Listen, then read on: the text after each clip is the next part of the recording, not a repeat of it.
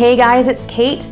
I'm here with Morningstar Christian Bookstore, and today we're reviewing The Life Giving Table by Sally Clarkson. It is such a great book, and it's about making every meal intentional with your family, whether it's a small meal or a big meal, but doing it with purpose and enjoying your company. She has recipes throughout this entire book, which I think is fantastic. And today we're gonna be doing the recipe for lots of lemon and blueberry cake. And I have the ingredients in front of me and let me tell you, it smells amazing already. I can't wait to get into it. We're gonna start with three cups of flour. The first ingredient to add to that is going to be one and a half teaspoons of baking powder, so mix that in. A quarter of a teaspoon of baking soda. Gonna use my whisk. And then a quarter of a teaspoon of salt. That all in there. And then you're gonna just whisk it around, make sure everything is incorporated. And we're gonna set that aside. On to the next ingredient. Okay, so our next ingredients are our wet ingredients. That's gonna be two sticks of butter and one cup and three quarters of a cup of granulated sugar. We're gonna beat the butter until it is nice and smooth.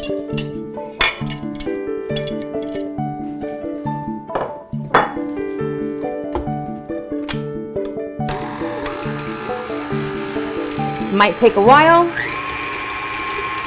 but the butter is room temperature as it requests for it to be, so it shouldn't take as long as you might think.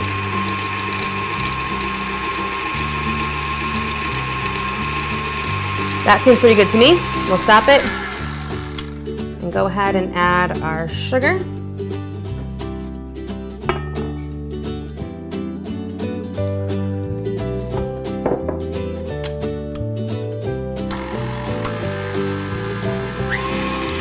And we're gonna cream that until it's well incorporated, nice and smooth, just like you're making cookies.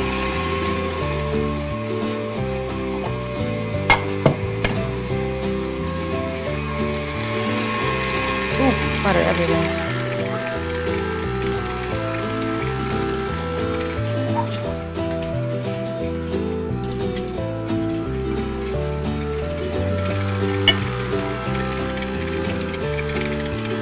And you're gonna wanna scrape the sides down so that you get every bit of all that butter and all that sugar in there.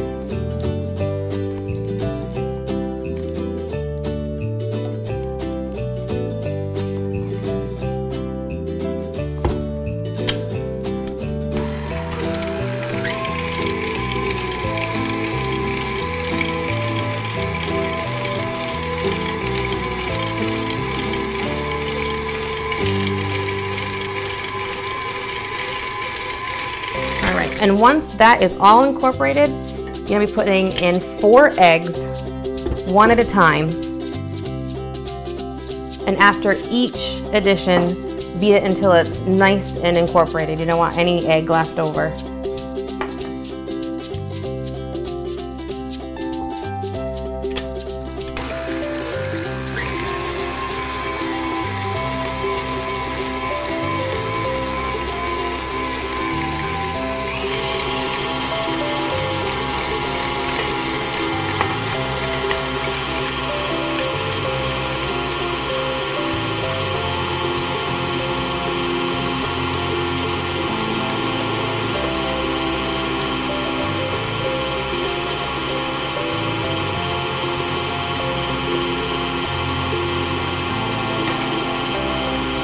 Let that run for just a few minutes.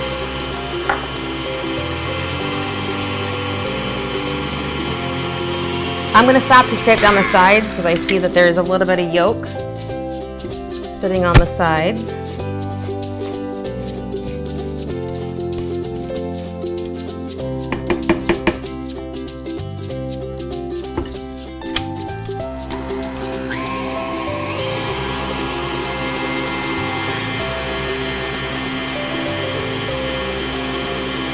All right, that seems pretty well incorporated now. So we're gonna add in our one cup of yogurt, half a cup of sour cream,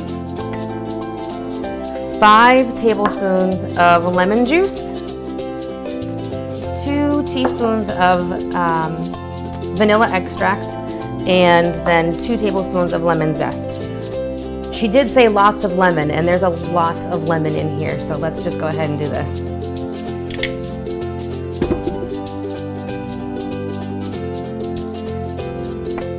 I used um, low-fat yogurt.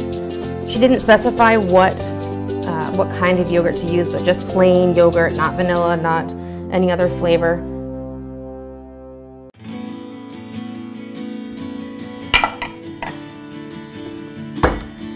Mix that around just a little bit.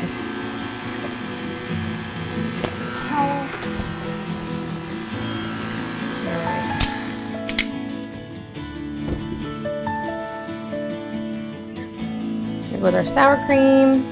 This is gonna make it nice and moist. For those of you who don't like sour cream, you can't taste it.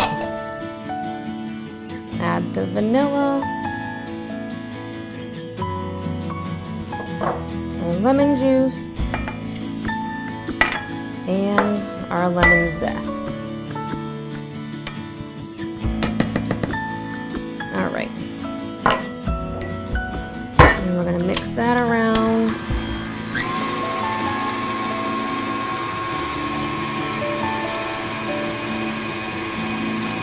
All right.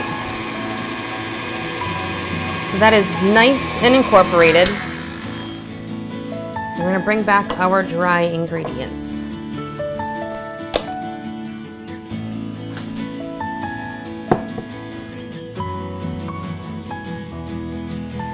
So this, in the book, she says to add it in in thirds so that you don't have a big flour mess on your counter or on your floor.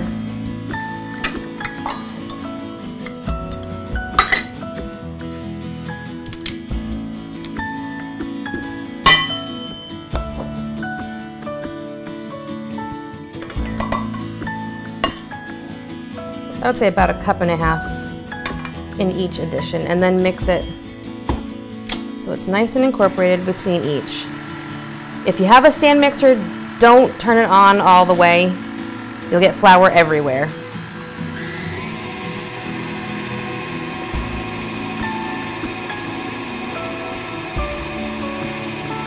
Okay, next. like I just did.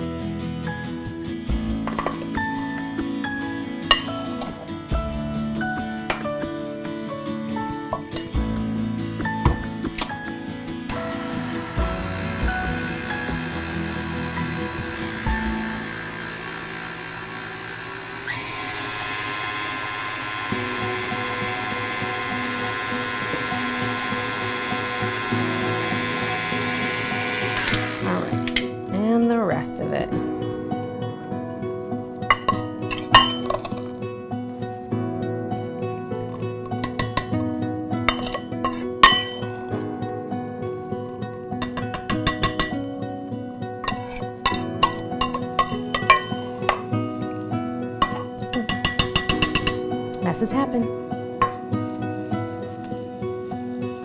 All right, let that incorporate.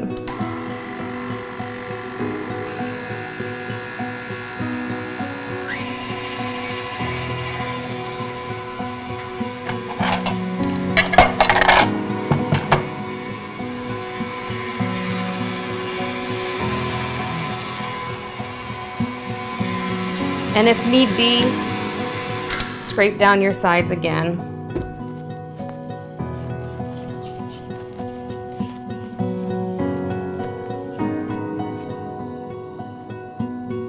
All right.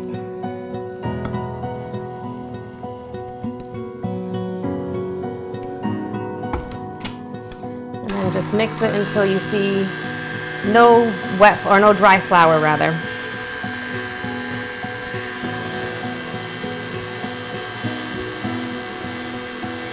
That looks good.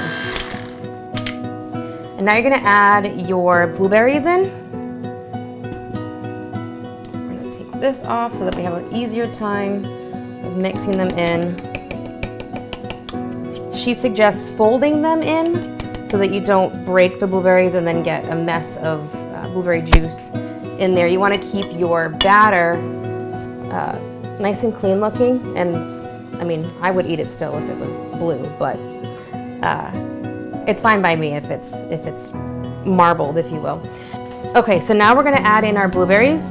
Um, it's recommended that you toss your blueberries in uh, just a tablespoon of flour um, so they don't sink to the bottom of the Bundt pan when you go to, uh, to cook it.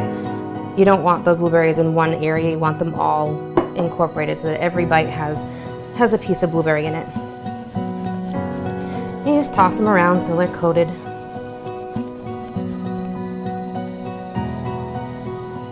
Looks about right. Probably gonna do it with two batches.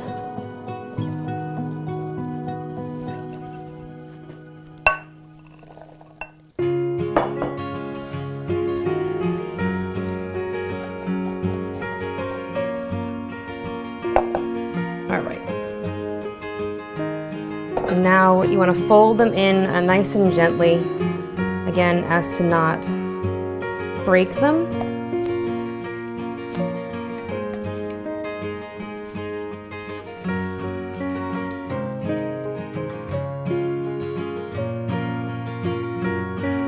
Smells so good.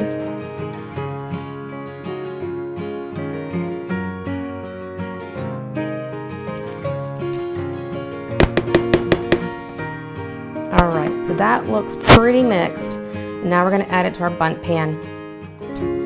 My Bundt pan is non-stick, so I didn't need to add anything to it, but in her uh, book, she does recommend that you do um, butter or a spray, like a cooking spray, and then put flour just along the edges so it doesn't stick. But like I said, mine is non-stick, so I didn't have to worry about that.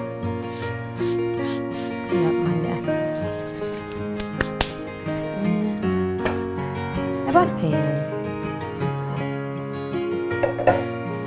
Another thing, another tip that she gives is don't just pour it in because you might pop some more blueberries. So just spoon it in nice and evenly around.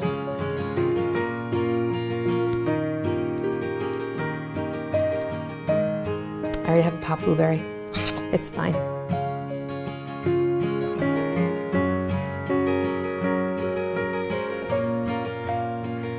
So I love lemons so, so, so much. And a lot of the reason because of that is um, when I was pregnant for my daughter, my first daughter, who will be six in December, my neighbor, who happened to be my aunt, um, gave me lemons because I was nauseous. She said it helped her with her pregnancy. And let me tell you, there were numerous nights that I fell asleep with a cut lemon under my nose to help me get to sleep, to help me not be nauseous. It was a godsend. And I think this cake is also going to be a godsend. So we're almost done putting it into the Bundt pan.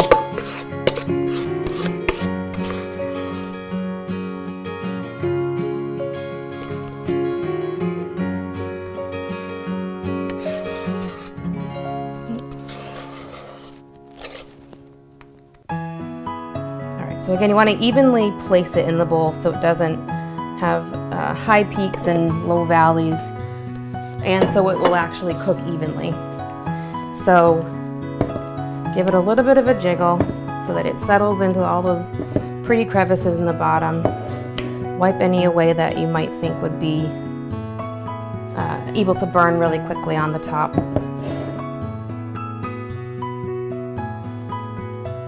I could have eaten that, but I didn't. Who cares? Raw egg's delicious. All right, now we're gonna put it into the oven and bake at 350 and uh, let it sit for, I think it was 50 to 60 minutes. Um, my oven, I think it was a little bit low, so I had to put it in for 65, but uh, it came out so beautiful. So I'm gonna put this in the oven now.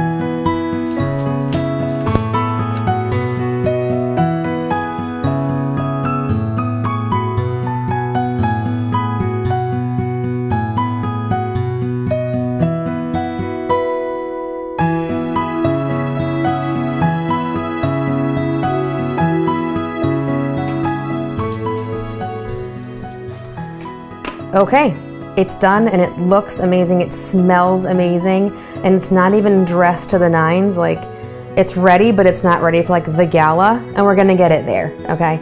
So, what Sally recommends in the book is that you leave it in the Bundt pan um, to cool for about 10 minutes, just so that it can separate from the size of the pan. If you have a round pan, you can just take a butter knife and run it along the edges, the outside and the inside, and then um, turn it around, keeping it in the pan, but turn it around so that it's this orientation on a wire rack to cool, but leaving it in there for another five minutes, again, to separate it.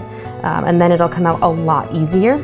So it's ready now and we're going to dress it with the glaze, which I'm super excited about. Um, a couple of tips, we're gonna be using a couple of these lemons. Uh, set this aside for just a second.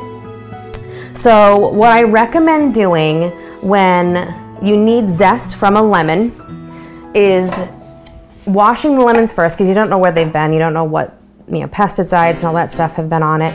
Um, so washing it anyway, but using warm water, that will actually loosen the juice up so that you get more out of your lemon. And then also rolling it on a cutting board because that will also do the same thing by breaking up all those little capillaries in there. You'll get much, much, much more juice out of the lemon. So roll it around a few times. You can tell that it's getting softer. And we need quite a bit of lemon juice for this. So we're gonna cut this in half. I have my handy dandy lemon squeezer. And throw one in there and just squeeze. And we need about oh, about a half a cup, if not a little bit, um, a little bit more, or a little bit less than that in there for the glaze. Make sure all the juice comes out of there.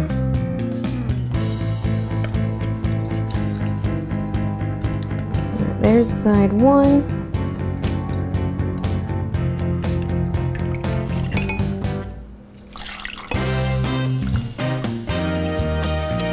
So that is just under half a cup. I'm gonna do my other one just because I don't want it to be without flavor. As much of that lemon juice as I possibly can. Put this aside for just a second. Roll this one around. I used the zest of these two lemons for the actual cake, and now I'm just gonna use it for the juice. This one looks really juicy.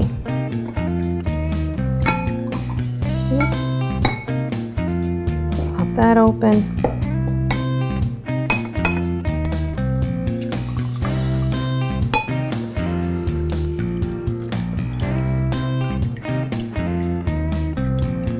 Move that around a little bit.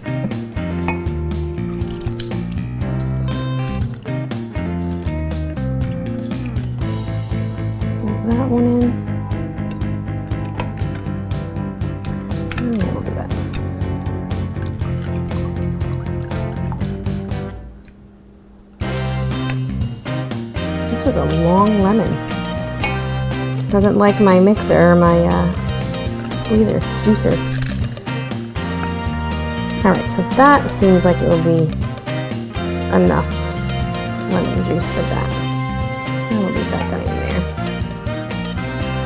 there. All right, so we have about half a cup of lemon juice for that, and then we have half a cup of uh, confectioner's sugar. So to put that into that.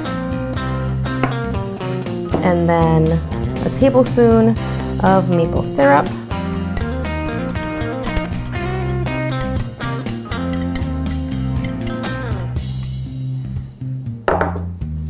And then whisk that around.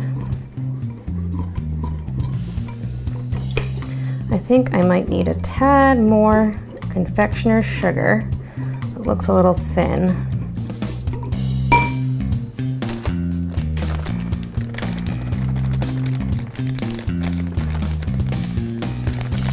We're winging it here, people.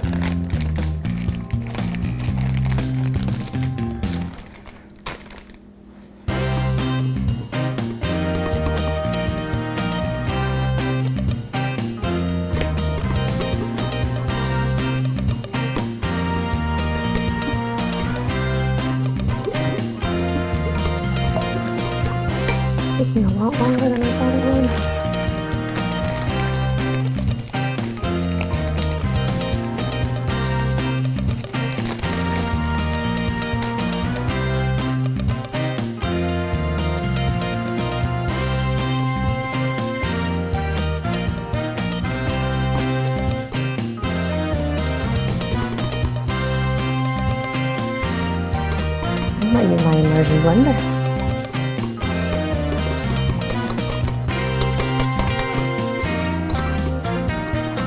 A lot more confectioner's sugar. this isn't a glaze, this is a, we're gonna soak it.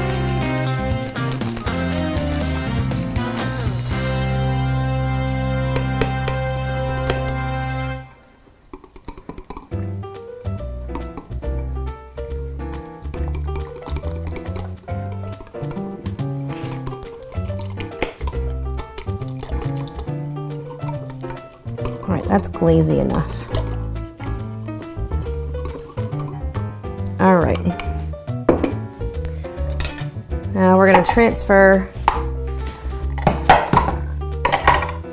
our cake.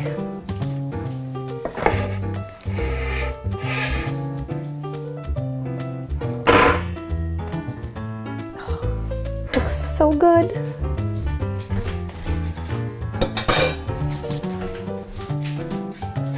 All right. I think I might even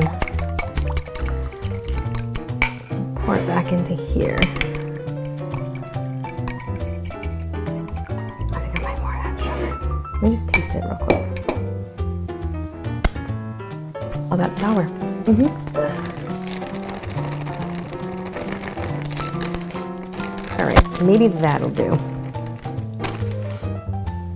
I feel like I did too much lemon juice, but that's okay.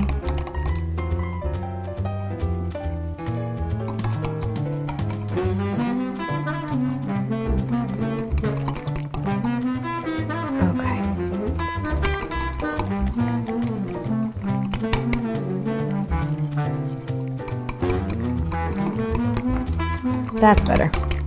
That's more like a glaze. All right. Just for ease, I'm gonna pour it back into here.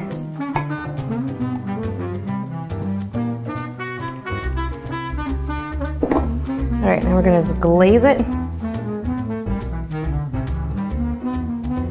Pour all over the sides.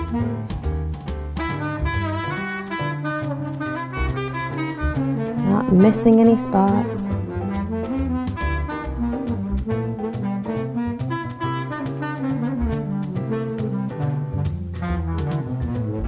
I use a little bit.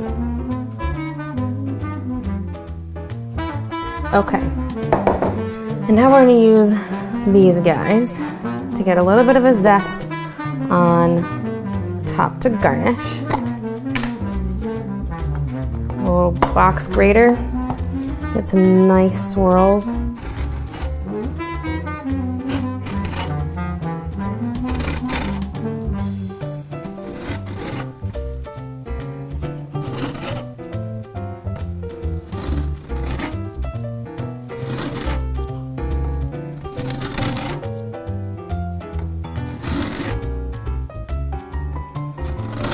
being careful not to get your flesh.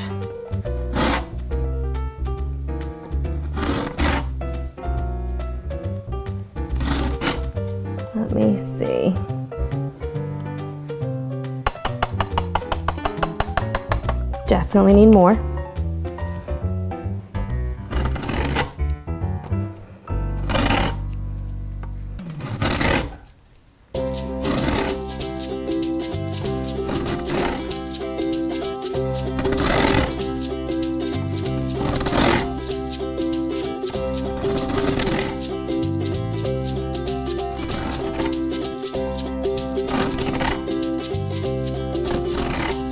Don't worry, these lemons won't go to waste.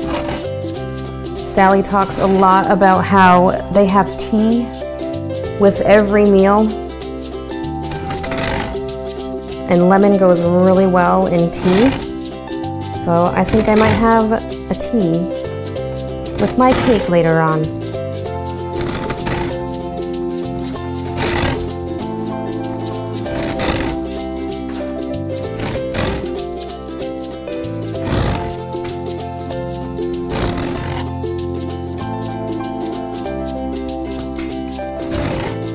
Let's see what we have now.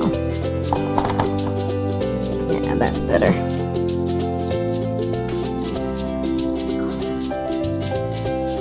So now we're just gonna sprinkle it over the top.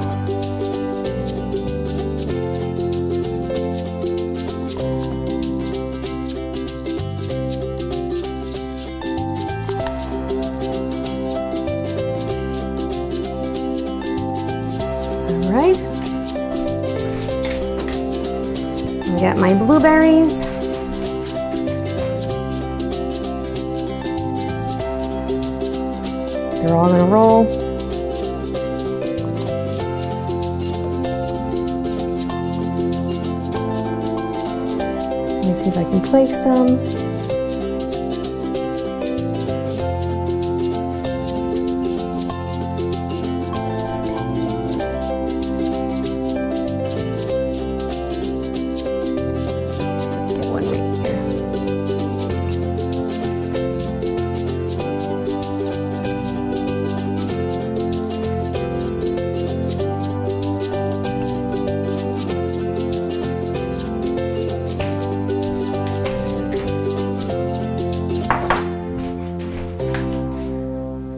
And how delicious does that look? I cannot wait to have a cup of tea and a piece of this lots of lemon blueberry cake. Yum.